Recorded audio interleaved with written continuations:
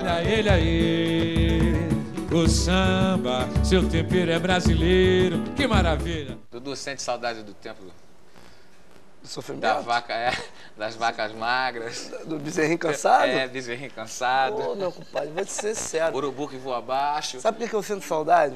Eu sinto saudade, assim, de- de algumas situações que você só passa, assim, quando você tá na- naquele perrengão, né, bicho?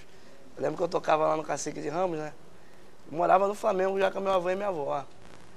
Aí, compadre, pô, pegar o ônibus lá em Ramos, 620, que era um CTC, meu compadre, que andava o complexo do alemão inteiro. Aí os caras entraram pra meter um ônibus, né? Na época não tinha aquele curral atrás, eu ficava sentado atrás.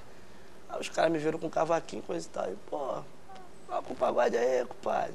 Lá do cacique, né? Falei, pô, peguei o cavaquinho, pô, tô lá, né, tocando meu pagode. Porra, daqui a pouco os caras, mano, falaram, ó, a parada é a seguinte do pagode.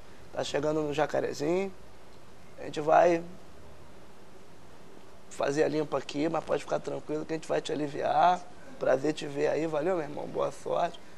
Continuei tocando meu cavaquinho, os caras meteram o mano. Perdeu, perdeu, perdeu, passa tudo, passa isso aqui. meu. Pô, meu velho, aí tudo bem, né? Quando o cara desce do ônibus, fica aquele bate-papo, pô, sacanagem, dinheiro do mês, não sei o quê. Ah, me veio uma coroinha, bicho.